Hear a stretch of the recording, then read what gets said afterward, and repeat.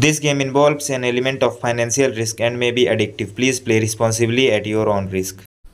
नमस्कार दोस्तों, स्वागत है आपका एक बार फिर से हमारे इस YouTube चैनल में दोस्तों, आज की इस वीडियो में मैं प्रेडिक्शन करूँगा इस सीज़न के टाटा आईपीएल के चौथे महामुकाबले के बारे में, जो कि खेला जाएगा 24 मार्च को दोपहर साढ़े तीन बजे से Rajasthan Royals versus Lucknow Super Giants के बीच में दोस्तों, आज की इस वीडियो में मैं आपको बताऊँगा कि कौन सी टीम यह मुकाबला अपने नाम करती हुई नज़र आने वाली है साथ ही साथ कौन कौन से खिलाड़ियों का प्रदर्शन इस मुकाबले में बहुत ही ज़्यादा अच्छा रहने वाला है।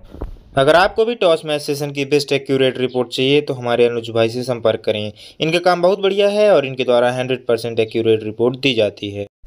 दोस्तों, अगर बात करें राजस्थान रॉयल्स टीम की तो इस टीम की तरफ़ से कप्तान रहने वाले हैं संजू सैमसन। इनकी कुंडली में इनका योग बहुत ही ज़्यादा अच्छा बनता हुआ नज़र आ रहा है। दोस्तों, इस मुकाबले में इनका प्रदर्शन बहुत ही ज़्यादा अच्छा रहने वाला है।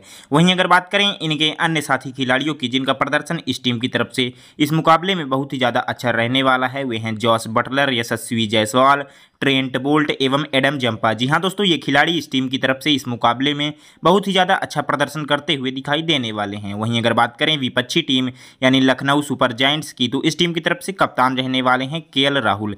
इनकी कुंडली में भी इनका योग काफ़ी ज़्यादा अच्छा बनता हुआ नज़र आ रहा है। इनका प्रदर्शन भी इस मुकाबले में बहुत ही ज़्यादा अच्छा रहने वाला है। वहीं अगर बात करें इनके अन्य साथी खिलाड़ियों की, जिनका प्रदर्शन इस टीम की तरफ़ से इस मुकाबले में बहुत ही ज़्यादा अच्छा रहने वाला है, वे हैं Quinton de Kock Marcus Stoinis Krunal Pandya एवं रवि बिश्नोई जी हाँ दोस्तों, ये खिलाड़ी इस टीम की तरफ़ से इस मुकाबले में बहुत ही ज़्यादा अच्छा प्रदर्शन करते हुए दिखाई देने वाले हैं। वहीं अगर बात करें अंत में हार और जीत की, कि कौन सी टीम यह मुकाबला अपने नाम करती हुई नज़र आने वाली है तो दोस्तों, अंत में राजस्थान रॉयल्स टीम कुछ ही अंकों से यह मुकाबला अपने नाम करती हुई नज़र आने वाली है। धन्यवाद दोस्तों।